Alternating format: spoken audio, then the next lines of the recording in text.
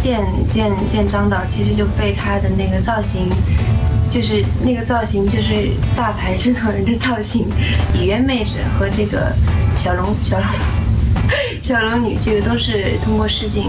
然后试镜也不是我的强项，我觉得我的表现其实特别二，但是他最后还是用了我，所以我就感谢对我的这个信任和鼓励。